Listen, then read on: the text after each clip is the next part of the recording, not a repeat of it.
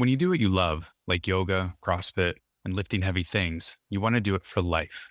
Inside Tracker can help. Inside Tracker was founded in 2009 by leading scientists in aging, genetics, and biometrics. Inside Tracker analyzes your body's data to provide you with a clear picture of what's going on inside you and to offer you science backed recommendations for positive diet and lifestyle changes. Then Inside Tracker records your progress every day, every step of the way towards reaching your performance goals and living a longer, healthier life. For a limited time, you can get 25% off the entire Inside Tracker store. Just go to insidetracker.com slash fitmess or visit the link on our website, thefitmess.com. This is The Fit Mess conversations with world class experts in the fields of mental, physical, and emotional health. In this episode, you can do red light therapy on certain muscles prior to an activity, and you're going to have more power, strength, endurance, and you're going to recover faster. Likewise, with sun exposure, you can do a red light therapy treatment to your skin prior to going outside, which is going to allow you to be exposed to sun for longer without being damaged by those UV wavelengths. Now, here are your hosts, Zach and Jeremy. Hello, and welcome to the Fit Mess podcast. Thank you for making us part of your day and whatever it is you're doing right now. We really do appreciate spending this time with you. And today we'll be talking about something that Zach and maybe you are already familiar with, but is really going to be an education for me. We're talking about red light therapy. Our guest is Dr. Mike Belkowski. He's the founder of BioLight and host of the Red Light Report podcast. He'll explain why red light has the ability to boost mitochondrial health and heal the body at a cellular level. And he'll offer some simple at home steps you can take, even if high tech red light therapy tools are outside of your budget. But first, we want to reintroduce a new old segment on the show. For a long time, we ended each episode with a weekly challenge, something we pushed each other to do to hold each other accountable. We're bringing that back in the form of a monthly challenge where we can all hold each other accountable. We'll do so with updates on the show, but also in our new Facebook group. If you want in, just follow us on Facebook and we'll open the gates and start letting listeners in soon. We'll provide resources and guidance and share our progress and setbacks so we can all grow together. And uh, and Zach, uh, I'd like to start with our first challenge uh, here on the show and in that Facebook group where my healing journey began, where our show began, and where I think you need the most help. What the hell is wrong with you? Meditation. We're going to be focusing on meditation for this first challenge. We're going to try and hold each other accountable to doing so. What three, four times a week? Is that is that the benchmark you're comfortable with? Three to four times a week for just five minute sessions, something nice and easy like you mentioned on a couple shows ago, do what you can do. If you know you're not going to be able to do something, like don't go. I don't want to go into this with 30 minute session, right? Because I know I won't do it, right? If it's just five minutes, I'm going to do it. So three to four times a week, five minutes a piece. And three to four times a week, five minutes a piece. That's three to four times a week, five minutes a piece more than you're currently doing, right? From a pure meditation standpoint, again, whenever I do yoga, I am actively meditating during yoga, but it's it's fairly different. Yeah, I would like to encourage that as well. Don't go into this thinking that it is that there's one way. There there is no wrong way to meditate. Find a way that works for you. Commit to 3 to 4 times a week, 5 minutes and in that Facebook group, we will hold each other accountable. We'll talk about what's working, talk about what's not. We'll have a bunch of tools in there and we'll even have a 50% off code from Headspace a really simple tool to use to get into the habit of meditation. That will be posted in the Facebook group. So follow us there, join the group, and we will get that challenge started here for the month of October. So, Jeremy, one place where I think I'm going to be able to practice some meditation mm-hmm. is when I'm standing in front of some red lights. Really? So, yeah, you've done this before, this red light therapy. Yes, I have done it a few times with an infrared sauna. And actually, uh, Dr. Polynice, who was on our show a long time ago about NAD therapy, mm-hmm. has a full wall of infrared lights. So it's not always necessarily a booth. There, there's like a, you can do a panel, and and our guest, uh, Dr. Belkowski, will talk about the the product specific to BioLight to their product. But there's a number of ways you can do this. There are the saunas, there are panels, there are different things that you can use. Yeah. So if you're going into an infrared sauna, you'll notice that like up on the the ceiling that looks like LEDs or something like that. And those are the lights that Dr. Belkowski will refer to in, in the interview. But there's also what he refers to as a wall of these lights. So you just stand in front of it. And I did that one a couple of weeks ago, and it was just a very cool experience. And I use the word cool to play on it because you feel this heat like Really? going through your body and you can reach back and touch the lamp and there's no heat on it. That's It's not bizarre. hot. Those are the waves like penetrating your body and heating you up, but it, you can't feel it physically touching the bulb. It's very cool. But I'm not the expert in any of this stuff. Dr. Mike Belkowski, the founder of BioLight and host of the Red Light Report podcast, is going to explain all of these things to us. And we started by just asking him simply, what is red light therapy? So, red light therapy is simply red light, and it also encompasses near infrared light. So, the reason why these two wavelengths are so special is because they positively influence or they positively affect the mitochondria. And, you know, just a quick dive into the mitochondria because this is important when it comes to red light therapy. We have mitochondria in every single cell in our body outside of red blood cells. And not just one mitochondria, but hundreds, if not thousands, and sometimes tens of thousands, depending on how much energy that tissue requires. So, for example, the brain, the muscles, and our heart are very mitochondrial dense. Again, the reason why red light therapy is so effective for so many different things because there's a laundry list and sometimes it can sound like a snake oil pitch but the reason why red light therapy can affect so many different things is because again it positively affects the mitochondria which is virtually everywhere. So provided you're using the correct wavelength of light and or the correct dosage then you should see some positive results if you are lacking in a certain area. So to think of it another way if you're very healthy and you're doing quite well you're not going to notice a ton with red light therapy although you'll still be boosting your mitochondria which is good for your um, being prophylactic or just mitigating any other potential health issues and it's going to uh, potentially help your longevity. And so that's what a lot of people are starting to use red light therapy for is preventative and then getting into that anti-aging longevity sector. And so again just to answer answer your question that's what red light therapy is. It's using the wavelengths of red and near infrared to optimize your mitochondria which helps with a lot of different things. And so another rabbit hole is the fact that in this modern world we're living in now, all three of us were in our houses, we're under our roofs, and we're nowhere near the full spectrum sunlight, which is full of um, a lot of healthy benefits and it's full of, let's call it nutrition for our body. And so in this modern world, we spend a lot less time outside, which negatively affects and negatively impacts our mitochondria. So, my point being, really the only reason why this technology, this red light therapy technology is even necessary is because of what we've been doing to our mitochondria the past several decades or centuries, let's say ever since uh, Thomas Edison invented the light bulb and Tesla helped electrify the power grid. So that was really the beginning of the end, if you want to put it that way, for mitochondria is the lights allowed us to be indoors a lot later at night. So there's that timing factor where we're staying up later and we're in front of this blue lit technology. So we have screens, which can be TVs or tablets or cell phones or or what have you. And so those are bad enough even in the middle of the day, but we like to use those especially right before we go to bed, which then wrecks our circadian rhythm. And that alone is full of a, a laundry list of health ailments and, and, and maladies, which also impacts your uh, mitochondria negatively so we're we're in this world where there's this term called malillumination and so it has to do with a couple of things. A we're not getting the healthy light from full spectrum sunlight which includes red and near infrared. And then b we're inundating ourselves with non-native light such as fluorescent lights and then the blue lit technology like i just talked about. And then the third variable is the timing which we just talked about which tracks your circadian rhythm.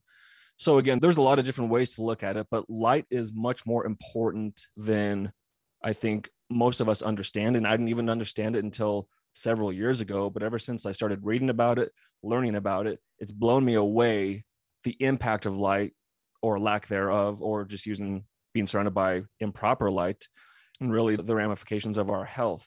And again, light isn't just what we see, light is also Wi Fi and Bluetooth and 5G. For example, near infrared is invisible light, but we know it can positively affect our mitochondria and conversely all these other um, types of light that we can't see, such as radio waves and the Wi Fi, Bluetooth, all this great stuff that helps with technology.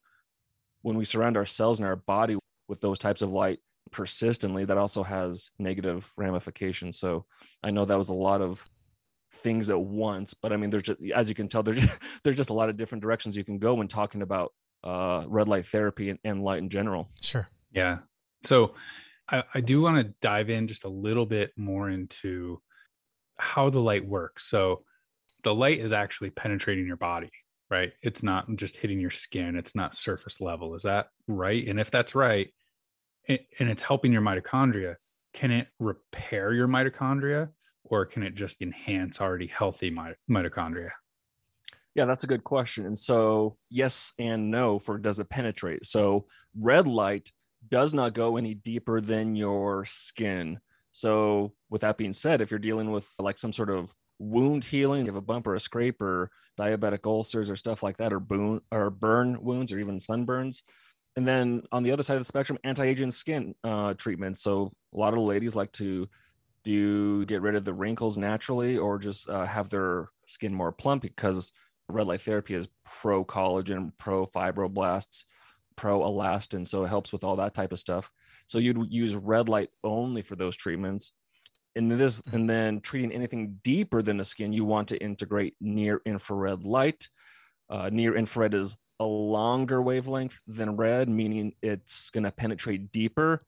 And along the same uh, line of thought, infrared saunas usually co- are composed of mid infrared and far infrared, which are longer wavelengths than near infrared which is which means that mid and far penetrate deeper than even near which is why you get this deep sweat and this detoxification with mid and far infrared. With that being said mid and far infrared of infrared saunas do not directly affect the mitochondria whereas red and near infrared do. So a question i get a lot is which one should I use, infrared saunas or red light therapy? And that's like apples and oranges. In a perfect world, you want to use both consistently, and it also just depends on what you're going for but they're completely different health treatments and so to answer the other part of your question about the mitochondria yes it can help repair dysfunctional mitochondria it can help with mitophagy which is a natural process of just like autophagy that cellular cleanup well you don't want dysfunctional mitochondria hanging around because then they're going to replicate and you're going to be replicating dysfunctional mitochondria and if you read or listen to the top mitochondrial researcher in the world, Dr. Doug Wallace, he's gone on record as saying that upwards of 80% of modern diseases are due to mitochondrial dysfunction, meaning that leaves around 20ish percent due to other factors, including genetic factors, which should be liberating to people because that means we can, um, a lot of our health is in our hands because modern diseases, we're talking about diabetes, metabolic syndrome, obesity, and stuff like that, which when we look at it, it's all tied to dysfunctional mitochondria. So, yes, the red and near infrared light helps boost mitochondrial health and can reverse mitochondrial dysfunction. And then the red is for surface treatments, and near infrared is for treating anything deeper like muscles, bones, joints, the brain, organs, stuff like that you have had some really smart answers, and so I warned you about this. I'm going to ask you a really dumb question, and it is. I, I, I have to believe the answer is no, otherwise you wouldn't be in business. But I hear red light therapy, and the dumb guy in me thinks, oh, I can run up to Lowe's and get some red light bulbs, plug them into my lamps, put it in my bedroom, and boom, red light therapy. Who needs these fancy saunas? What's the difference? And, and first of all, I'm assuming that's wrong. So tell me why that's not the same thing as what BioLight and other red light therapy uh, offers. Yeah, so there's a time and place for these red light bulbs. So, for example, like you're saying, a red light bulb at night is not going to inhibit your melatonin production and it's not going to jack up your cortisol production, which has to do with your circadian rhythm. Because at night, typically you want your cortisol to be naturally going down and your melatonin going up because each one inhibits the other. So, that's the reason why blue light technology is so bad is because that blue light signals to your eyes and brain that it's the middle of the day so it's going to increase your cortisol production which again inherently decreases your melatonin, which makes it difficult to fall asleep or get into deep sleep, which has a lot of ramifications for your repair and growth and all that stuff at night. The point being, those red light bulbs are not going to inhibit your melatonin production and it's not going to spike your cortisol levels. So, for example, if you want to read at night or if you just want to have some lighting, and I even do this in my own house, instead of turning on my, I use amber lights, I don't even use white or blue lights, but instead of having even those on, you can flick on some red lights and that's going to be much easier on your eyes and on your brain. And again, it's going to help you still see what's in your house, but without messing with your circadian rhythm. So there is a time and place for those. But for people looking for therapeutic treatments mm-hmm. like skin health, hair health, energy levels, anxiety, depression, sleep, thyroid health, athletic performance, and the list goes on and on and on. If you're looking for those type of treatments, you do need something that's putting out a higher light irradiance, which is a fancy term for light power because those bulbs, while they are producing light, they're extremely low compared to what you need for for the treatments I just kind of talked about or those health maladies. There are a couple of things you could use those bulbs for. I mean, skin treatments take a very low dosage compared to everything else. But that also beckons the fact that, or the question that, are those bulbs producing any near infrared or infrared light? Because I think they're just red, correct? So if that's the case, then again, you're treating just the skin, nothing deeper. So I don't know if that answers your question. It, it absolutely because in, in my mind I was thinking those are they're just pretty, right? I'm, i want to do something different in my room and make it red. Like my, my kids, we bought these these bulbs that change colors and it can be uh, all sorts of different. And I just thought it's just it just makes it look a certain way. But the fact that there is any benefit, I think that's that's remarkable. I I, I had no oh. idea. Yeah. So I I do want to ask about infrared saunas, and I've heard that there are different qualities of, of a sauna. And I think that you spoke to it about the near infrared and the far infrared, I think you said. Is that what I'm hearing around like be careful what sauna you buy because you might not actually be getting the benefit that you're looking for? And I've heard it mentioned as some saunas are bad quality. Is that what, what it's referring to? Is the different type of infrared light that they produce? I believe what you're alluding to is some saunas produce a lot of EMFs. And so there's some saunas that tout that they have extremely low EMFs. And that's what BioLight, we tout that we have very low EMF panels because that is important. As we, as I discussed earlier in the podcast here, EMF emission, when you surround yourself with it constantly, it's not good for your cells. I mean, it does degrade your cells. There's going to be some sort of cost benefit by surrounding yourself by by these negative wavelengths. And so to your question with the the saunas, some do produce a lot of EMFs. Some are very quote unquote clean with their EMFs, meaning you're not going to go inside the sauna and kind of cook yourself with EMFs at the same time as you're getting the the beneficial infrared wavelengths.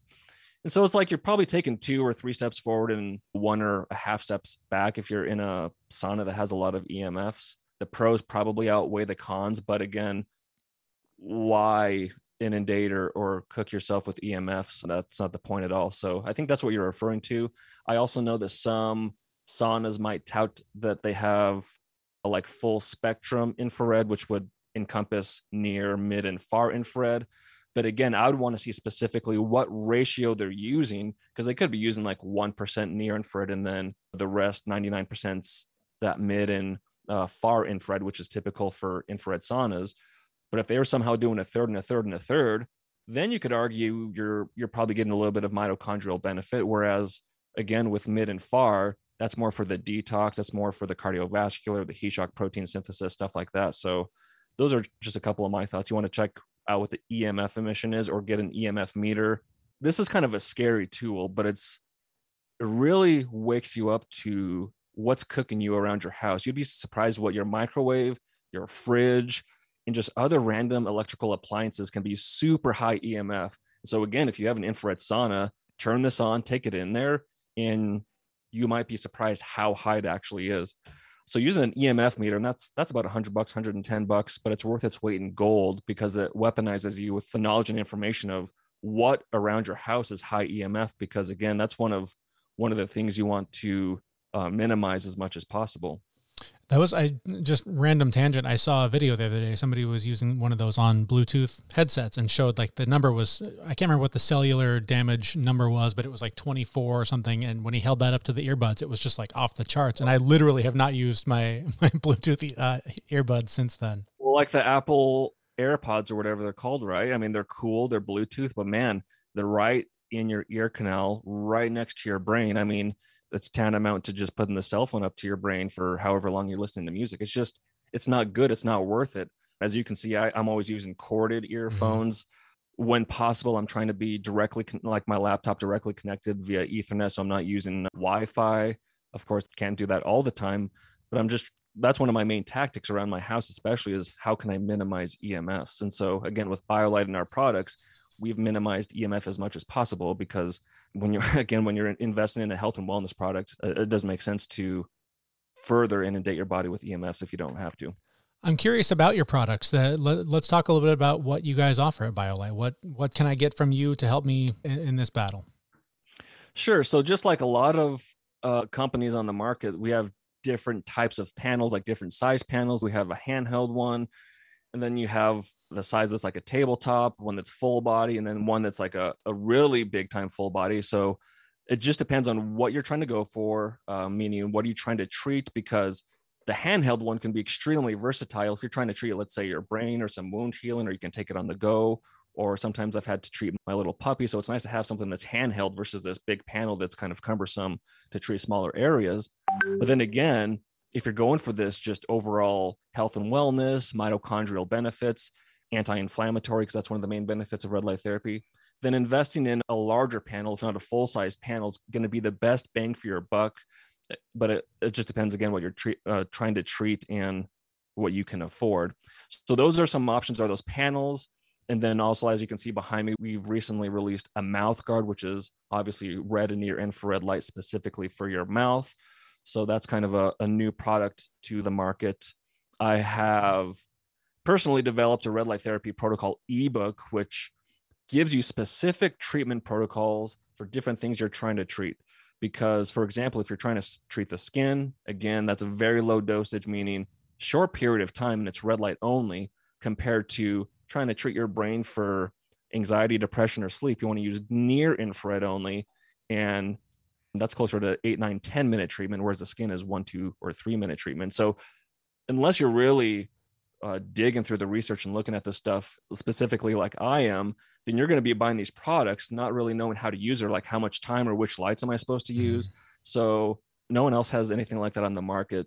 And I've actually just I, I, update that protocol ebook every six to 12 months because as more research comes out, the protocols become more specific, or I can add more protocols. For example, in this edition, which is the third edition, I've added protocols for pet health, women's health, uh, a concept called preconditioning, where, for example, you can treat your body or treat something prior to an event to prepare it for that event. So, for example, exercise or athletic performance, you can do red light therapy on certain muscles prior to an activity, and you're going to have more power, strength, endurance, and you're going to recover faster.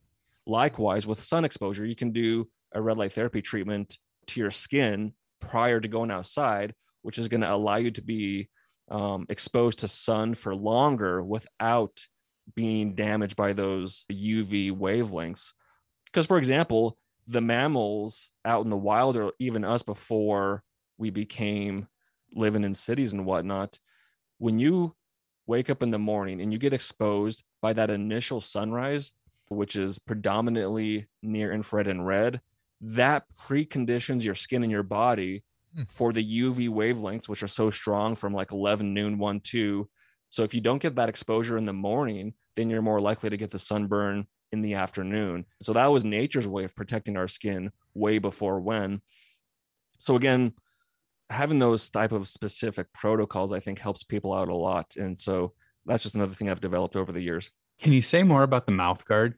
What specific area of the body is that focusing in on? Is it teeth? Is it the head? How does that work? It seems it's very intriguing. So it's specifically for mouth health, just like um, everywhere else in your body, there's mitochondria. Um, and every time you're using red light therapy, you're going to help reduce inflammation, improve circulation and again boost mitochondrial health so those three things alone leads to a lot of improvements for a lot of different things across the body including the mouth and interestingly enough there's a lot of research on oral health and red light therapy or photobiomodulation which is the scientific term so you can use it for general health you can use it for people who have sensitive teeth you can decrease t- uh, decrease tooth sensitivity for people that have uh, fragile gums or gums that bleed a lot, you can help strengthen those and decrease that. Then anything orthodontic related, you can use it pre-operatively to to make your tissues as strong as possible. Then, of course, post-operatively to help accelerate the healing process. You've mentioned a couple times the application for uh, anxiety and depression. Those are, those are, two things near and dear to uh, my heart and to Zach's heart. Tell us a little bit about. I mean, you've, you've mentioned inflammation. I, I, assume it's the same thing, improving inflammation circulation to the areas of the brain affected by those mental health issues. Is that is that fair? Absolutely. And so again, whenever there's a health issue, more often than not, and again, upwards of 80% of the time, there's going to be dysfunctional mitochondria related to that. And that's certainly the case with anxiety, depression, and like you spoke to, uh, poor circulation, specifically to the frontal lobes, where we have a lot of executive function and our personality comes from that. So if those areas are being vasoconstricted or they're not getting enough circulation, then yeah, there's going to be it's not going to be operating as, as as fully as it should. And so I guess we need to backpedal just a, a little bit because of the mitochondria. The mitochondria produce 95% of the energy in our body. So, again, with anxiety, depression, if we're not having enough circulation there, if our mitochondrial is dysfunctional, so we're not getting enough energy production in these areas, that's where you can see a lot of issues with mental status, whether it's anxiety, stress, depression, but also, there's been some interesting research the past six to 12 months where they've done red light therapy on the gut because we have the gut brain axis, and they've mm-hmm. uh, literally done it just on the gut, and they've seen improvements in emotions and anxiety and stress. Wow. So that's another interesting avenue, but it makes total sense because, again, with the gut brain axis, and a lot of our uh, serotonin and dopamine is actually produced in our gut. So not only do we need to look at the brain when thinking about anxiety, stress, depression, whether it's red light therapy or not, but also assessing the gut and making sure that is healthy as possible because it's a two way highway. And actually, speaking with multiple biological dentists, they pointed out to me the impact that your oral health has, not just systemically, but on your gut. So if your oral health isn't up to snuff or your oral microbiome is dysbiotic, meaning there's um, a higher uh, ratio of quote unquote bad bacteria versus good bacteria, if it's dysbiotic, that's going to negatively impact your gut microbiome. And just like we talked about, if your gut microbiome isn't up to snuff, that could negatively impact your uh, mental status. So one could argue that your oral health could affect your mental um, status via the gut health. So there's that V or that triangle interplay. So that's another reason why I was super excited and, and really want to bring out something like the Guardian is because not only does it help with oral health, but oral health really uh, has an impact systemically, including mental health. Interesting. That's awesome. That's uh, I'm actually quite blown away by that. I'm now I'm crazy. Now I'm making plans on how I can spend more money on these things and get that by my wife. But but it's not only the fact that red light therapy has this potential impact. I think the cherry on top is it's non-invasive, mm-hmm. it's extremely safe, and the upside or, or the benefits are awesome. They're, they're crazy ridiculous. And it's like you might buy a red light therapy product to help with your anti-aging skin, but then you can also use it for pain. You can also use it for skin health. You can also use it to help normalize your circadian. I mean, it's a Swiss Army knife. And again, it's stupid proof in the sense that even if you quote unquote overdose on red light, there are no negative side effects other than you might get a little lethargic or you might have some nausea or headaches or whatnot, but those are like detox symptoms, or it's just a sign that you inundated your mitochondria and cells with too much light. But otherwise, the only negative side effects of doing too much light is you're just not going to get the benefits you look for. So this is a pretty good point when discussing red light therapy is this concept of of a biphasic dose response. So it's like a, a bell curve where on the left side of the curve, if your dosage is too low, meaning you're not uh, exposing your body to enough red or near infrared light, you're not going to get the results you're looking for. And on the flip side, on the right side of that bell curve is where your dosage is too high. And I think that's where most people are for people that aren't seeing the results they're looking for is they're doing too much because we're in this mentality that more is better. If I do Mhm. 10 minutes and I get these results, maybe I need to do 20 minutes. And instead of one treatment a day, maybe I need to do two or three treatments a day. But actually, it's a law of diminishing results where if you do too much, you're not going to get the results you're looking for, which was another reason why I developed that protocol ebook is to hone in uh, specific dosages for specific treatments so people have a better idea their their re- treatments can be more effective but more efficient as well because uh, more is not always better I'm, I'm sure some of these are available in the book, but let's talk about just some simple things I can do at home if I don't have necessarily a budget to invest in, in the technology. You mentioned earlier just not being outside is, is a big uh, a big downer. What can we do to to improve our, our exposure to red light therapy at home? Just some real simple two or three things we can do today. So I do this personally, and I tell everyone else who's interested in red light therapy or just health and wellness is to get outside in the morning when the sun is rising and do sun gazing. Because again, that's when there's a highest proportion of red and near infrared light. And so you can do that with the sun setting as well. But I would argue if you had to choose one or the other, watch the sunrise. Because not only is that free red light therapy, but there is a multitude of of internal physiological benefits. There's a cascade of events that happens when your eyes are exposed to that red and near infrared light in the morning. So that's super important, but also it's free. And is that quickly like like just before 10 a.m.? Uh, Like what's the general rule of thumb to get that Well, sunrise? if you, if you can literally watch the sun rise or shortly thereafter. So I always, and of course, different people around uh, or different locations around the country and different times of the year between daylight savings and whatnot, that's going to fluctuate Sure. uh, massively. So if you can at least watch the sunrise or be there within you know the first 30 minutes or so, and all you have to do is be out there for you know five or 10 minutes.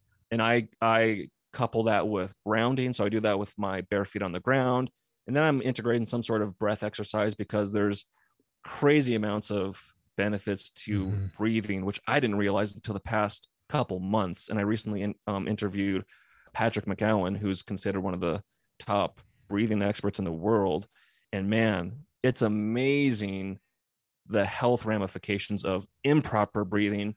So, thus, breathing properly leads to a lot of a lot of great things. So again, that's what I couple with my morning routine is the grounding, sun gazing or the sunrise gazing, and then breathing. But as far as other red light therapy things around the house, I mean, like you said with the lighting, that's certainly something you can do.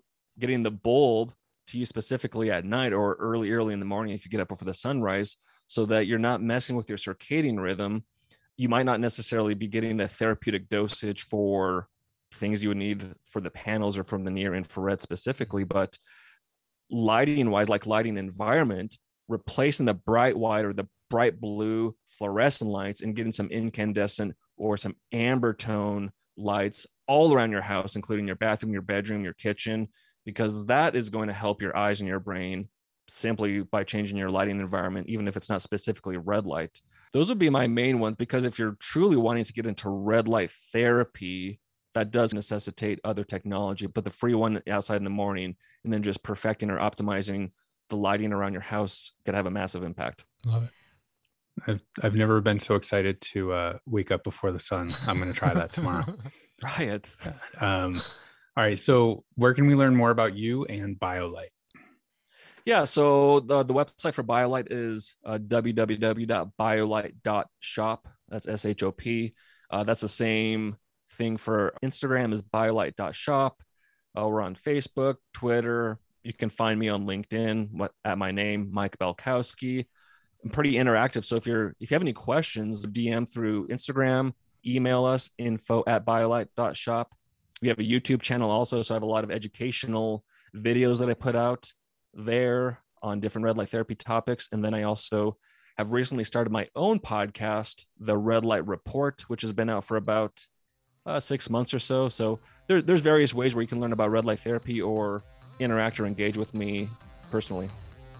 That all sounds great. We will have all the links to that on the show notes for this episode. And uh, thanks so much for taking the time. This has been fascinating. My pleasure. Thanks for having me on. Our thanks to Dr. Mike Belkowski, founder of BioLight and host of the Red Light Report podcast. Lots of fascinating stuff here. Again, brand new information for me for the most part. And I was mostly kidding when I asked about the red light bulbs and whether or not you can just go to the hardware store and screw in a red light bulb and, and have some effect. I thought, what a, what a stupid question. There's no way that's going to have any benefit. But as it turns out, uh, that actually helps. I had no idea. Yeah, yeah it actually has a, a, a little bit of benefit. So I think I'd prefer the full infrared light, but yeah, I might actually replace a couple of lights in the bedroom for going to sleep so that there's no blue light in there. My kids uh, recently we got some some bulbs that you can change the light the color throughout the day. You can put them on party mode and they flash and all this stuff. So literally after we talked to them uh, that night, I, I, turned on the red bulbs in the kid cave just to just to have the experience. Like, look at that, I can do it. Red lights, nice. home therapy. Did, How about that deal? Did they go to bed easier? no. Yeah, I didn't think so. There's no amount of red light that's going to help children no go no. to sleep earlier. Lost cause lost cause. I also really appreciated his perspective on just getting outside at sunrise which uh, not fun not fun to get up that early but it is something i'm doing these days because of getting the kids to school on time. Literally this morning i got up and did exactly what he suggested went outside barefoot and just took in some sunrise sun rays. Yeah. I wasn't barefoot but i i i get up early anyway. And it's a, it's a good time right now because I get up and leave the house and it's still dark. Mm-hmm. But when I got to where I was going, the sun was just coming up. So I was like, man, I'm early. So I took a few minutes and just stood there in it. I was like, okay. And then I went and got punished at the gym.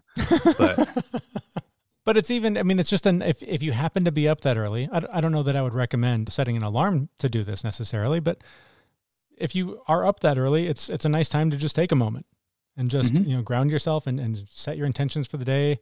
Meditate perhaps for five minutes and soak in those early morning sun rays.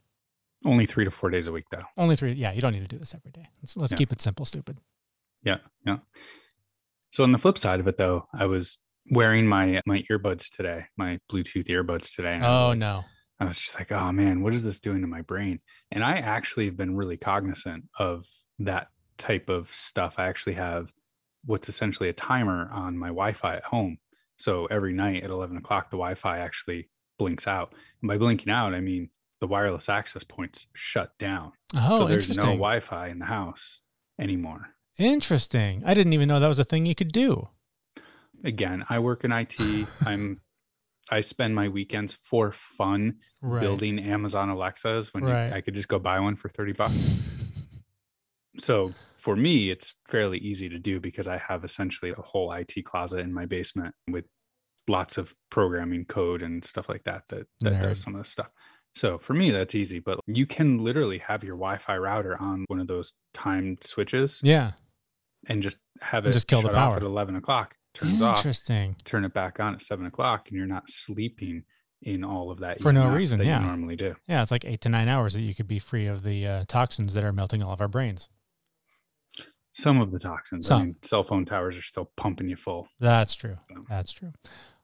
Great advice. I, I, hadn't thought about that. Good idea. Yeah, um, there's my one good thing for the day. well done. now. Call it, yeah, call it, call it quits. You've you've done call your it, deed. I'm gonna call it quits while I'm ahead. Speaking of, we should call it quits. I believe that's going to bring us to the end of this episode. Thank you so much for listening. Uh, our guest again, Dr. Mike Belkowski, founder and CEO of BioLight. You can find links to him and his uh, incredible products on the show notes for this episode at thefitmess.com.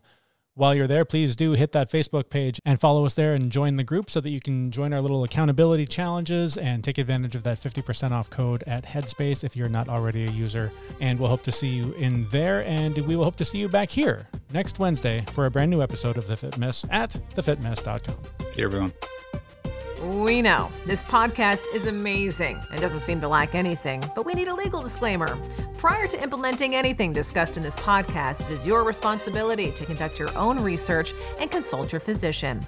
You should assume that Jeremy and Zach don't know what they're talking about, and they're not liable for any physical or emotional issues that occur directly or indirectly from listening to this podcast.